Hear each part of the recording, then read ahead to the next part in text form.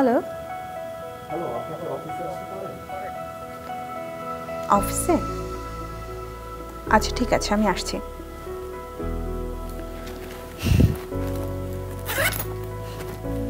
আমাদের জীবন আজ কত পরিবর্তনশীল। দিন দিন বাড়ছে তথ্য আর প্রযুক্তির ব্যবহার।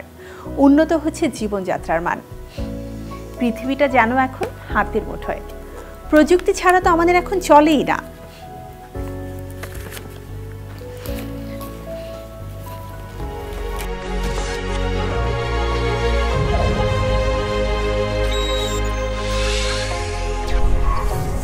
আমাদের দৈনন্দিন কার্যক্রম সারা বিশ্বে এখন ডিজিটাল প্রক্রিয়াধীন। চাইলেও এই ভার্চুয়াল লাইফ থেকে খুব সহজে বের হয়ে আসতে পারব না। আধুনিক বিজ্ঞানের কল্যাণে সব কিছু এখন হাতের মুঠোয়। প্রশ্ন আসতে পারে ডিজিটাল কি?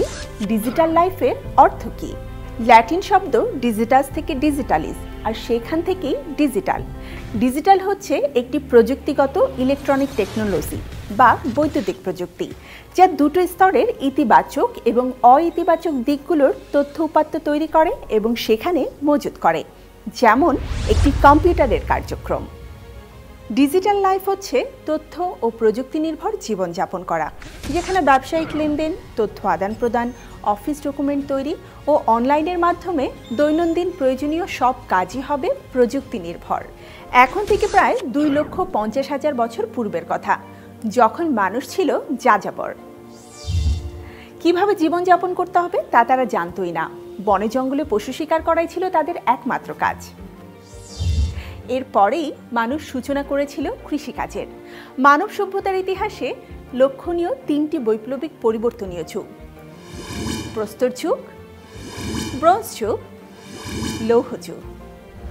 এরপর আস্তে আস্তে মানব সভ্যতার ইতিহাসে বৈপ্লবিক পরিবর্তনের ধারাবাহিকতায় মধ্যযুগ আধুনিক যুগ থেকে বর্তমানে তথ্য ও প্রযুক্তি নির্ভর ডিজিটাল যুগে আমরা অবস্থান করছি।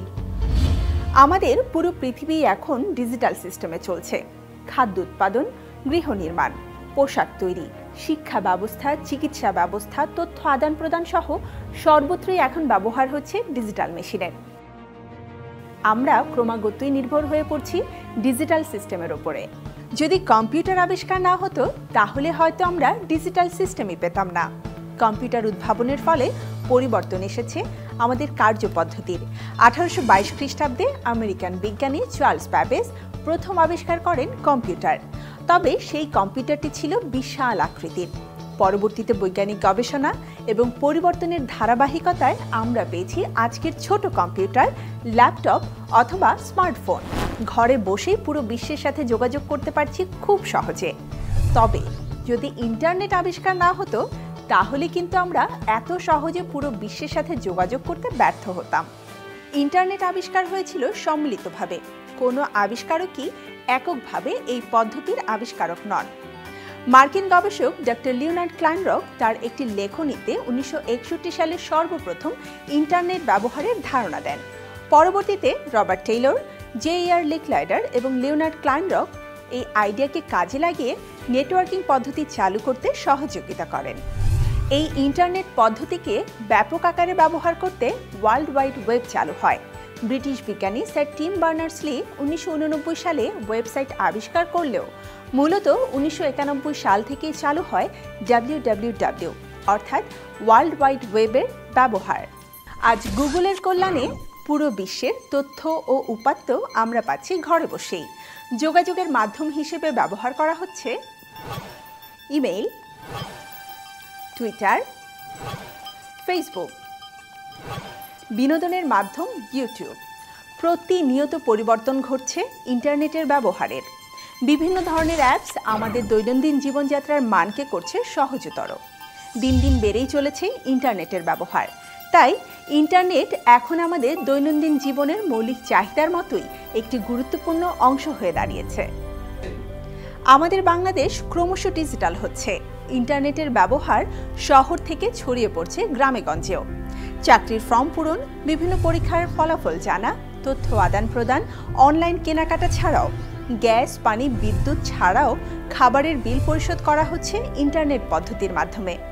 ব্যবসায়িক কাজেও ব্যবহার হচ্ছে ইন্টারনেটের মোবাইল, এটিএম বুথ অনলাইন ব্যাংকিংয়ের মাধ্যমে পরিশোধ হচ্ছে আর্থিক লেনদেন। আমাদের বাংলাদেশ আজ ডিজিটাল বাংলাদেশে পরিণত হবার পথে।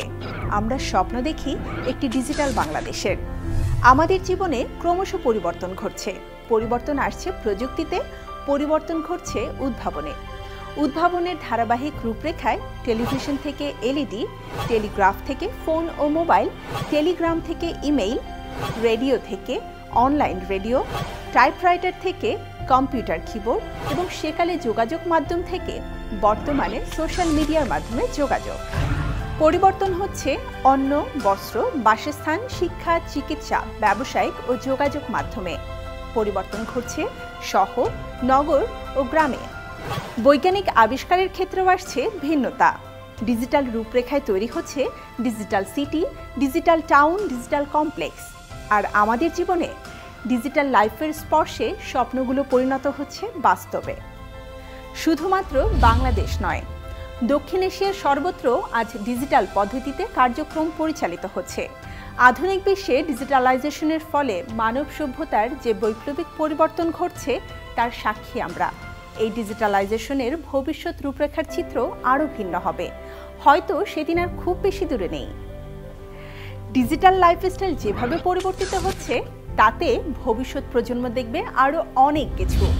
ডিজিটাল লাইফ এখন স্বপ্নের মতোই এক বাস্তব চিত্র আসুন, আমরা ডিজিটাল লাইফকে আরও সহজভাবে উপভোগ করতে তথ্য প্রযুক্তি সম্পর্কে জানি আরও সচেতন হই।